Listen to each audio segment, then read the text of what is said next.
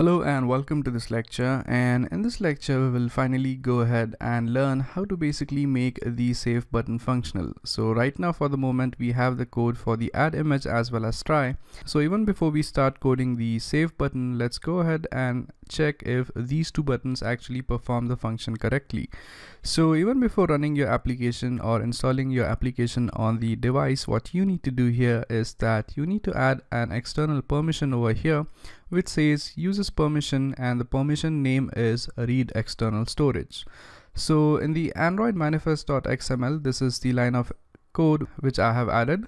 So you do need to make sure that you include this permission and once you do that you are good to go to run your application. So I'm basically going to save the code and run this application and see how it works. Okay, so the application is up and running on my device. So let me just record the screen and as you could see I click the add image button it is going to show me this intent so I'm going to select gallery and I'm going to select this image right over here and let's say the top meme text is going to be something like uh, hello and the bottom meme text is going to be world.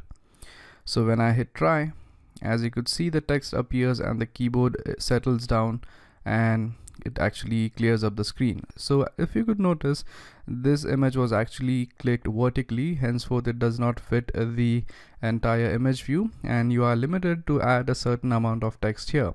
But if you click an image with a normal resolution then it would be fine and you would have no issues. Okay so once this thing is done let me just save the recording real quick. Okay so now what we are going to do is that we are going to add in the functionality for the save button right over here. So if you click the save button the method associated with this is save image.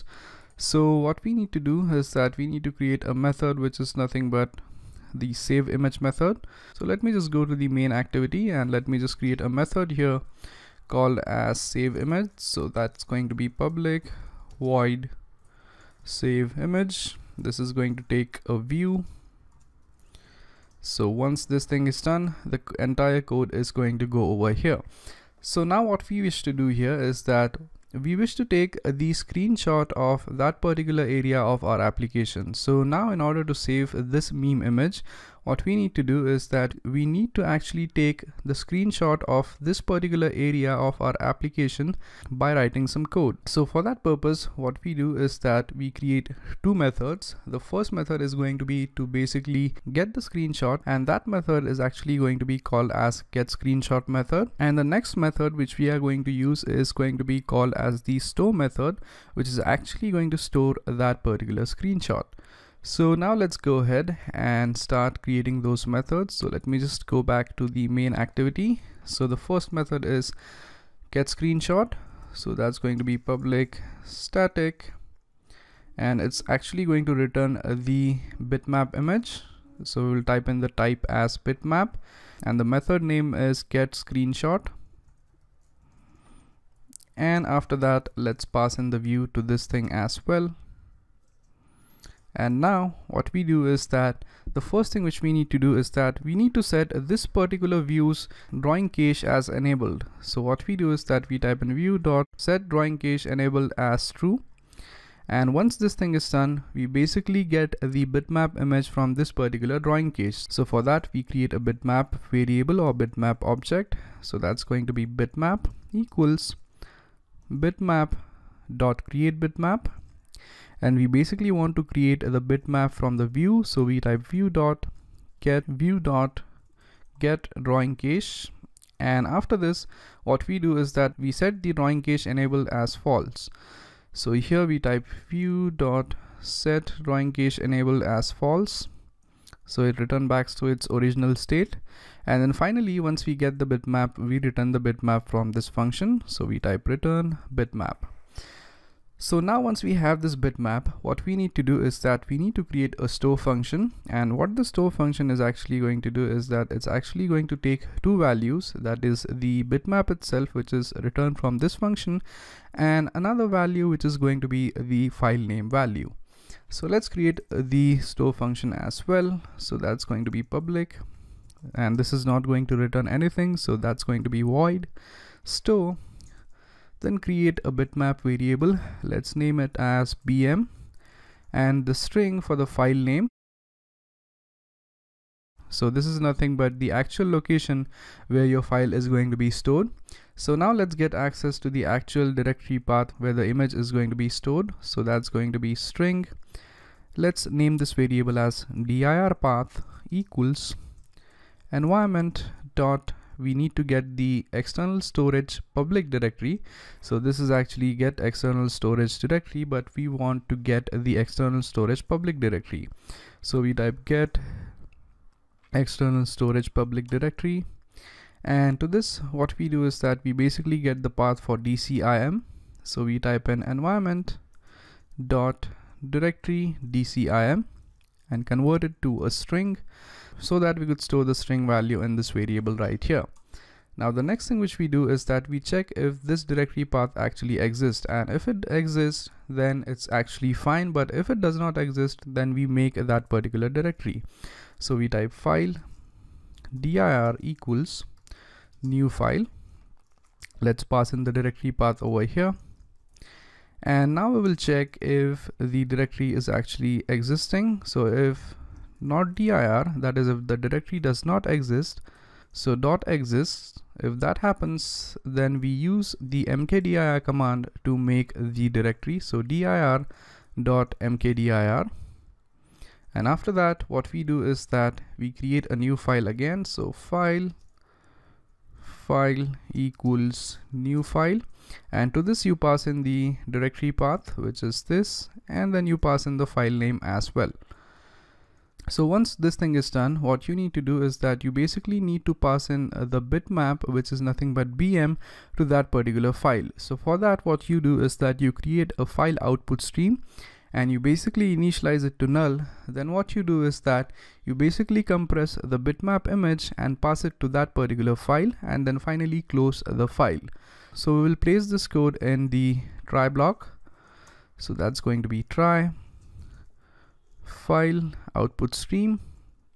Let's name it as FOS let's initialize it to null initially. And then next thing which we do is that we pass in the file path which is nothing but this thing over here to that particular file output stream. So fos equals new file output stream.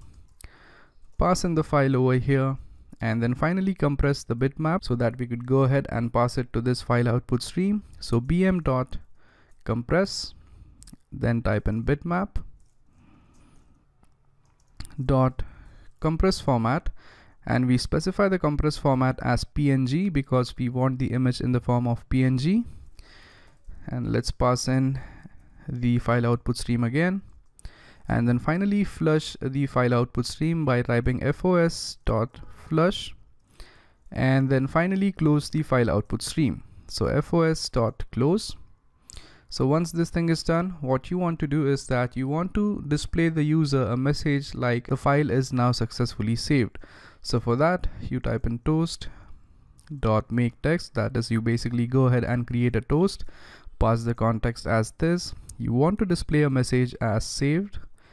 And let's set the length of this toast to toast dot length long. And finally show this toast so once this thing is done as you could see we are left with the catch block. So catch let's say it has the file not found exception. So file not found exception let's name it as e and basically print it over here. So print stack trace. And again we have to handle another exception which is the IO exception. Let's name it E and let's also print it up over here. So as you could see once you do these things it, the error actually disappears. Now the next thing which you need to do is that you need to call these two methods which is nothing but the get screenshot method and the show method over here. So if you have a look at the get screenshot method we do need to pass in a view so that this method could actually take a screenshot.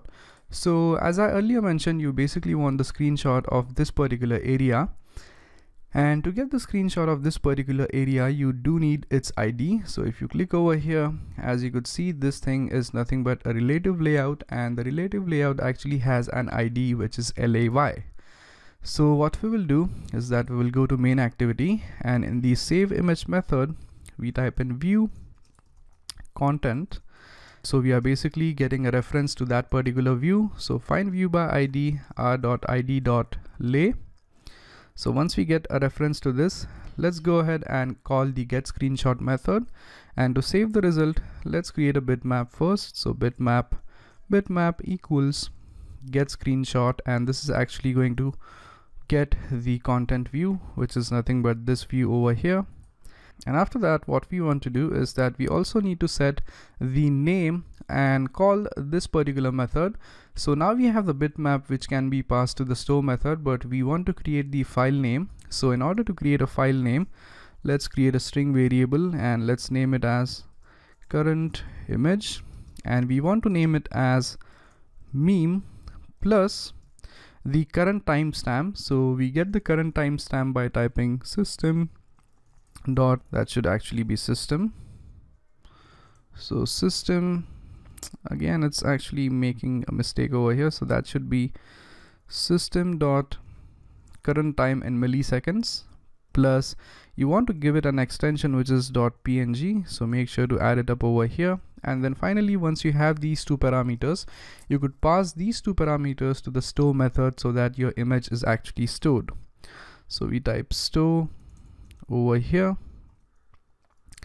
and pass in the bitmap and the current image over here and we are basically good to go. So once you are done with this your application is ready and hopefully this should work when we run this on our device. So let me just go ahead run this on my device and we'll see how this thing works. Okay so let me just go ahead and add the same image which we have added previously which is this one and let's type in hello world hit try button. So we have it. Now let's click save.